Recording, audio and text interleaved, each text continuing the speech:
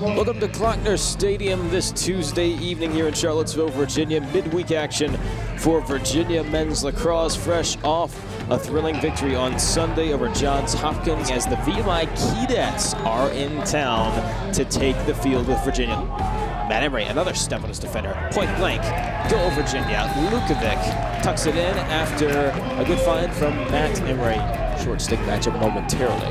Ryan Conrad now with the left hand, and Conrad, a nice shot. He had it. He left it behind, but Virginia will pick up the ground ball with McNamara. Moving with a head full of steam. The pass to Pinnell. Pinnell rifles a goal in. Virginia levels in a matter of moments. Decision to pull it out. Here's D'Amario, and that shot is going to find nets. Got to roll on the wing. Zama quickly to D'Amario. D'Amario with a jump shot, and he'll find net again. Two quick ones from the sophomore. Six in Fairfax, big shooter. Here's a shot, and that's going to fire in from Pinnell. He received from Lamb by Kellogg, and now topside shot go. Ryan Lamb connects. Inside for Pinnell, another feed to Lukovic. Pretty lacrosse from Virginia, and it results in another goal, a three-year score. A goal on the evening already. Pinnell topside, his hands are free, and he doesn't miss from that spot.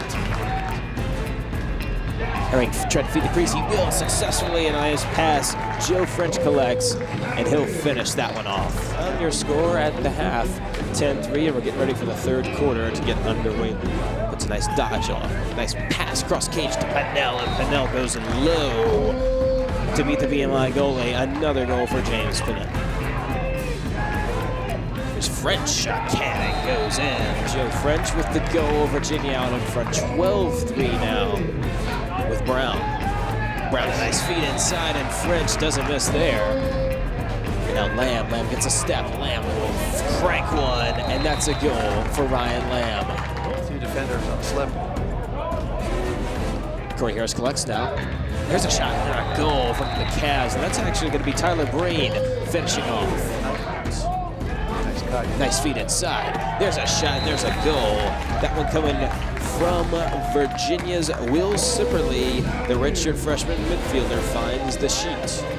With great pace into the box comes Virginia, Jacob Dean. And all the way to goal, there's a finish. Feed cross cage comes, and a shot at the goal. Tyler Breen with his second of tonight. Four with three with two. Feed inside, Green, one more with 0.6 seconds left. Tyler Breen completes a hat trick. The zeros appear on the scoreboard, and Virginia comes away with a 19-4 victory.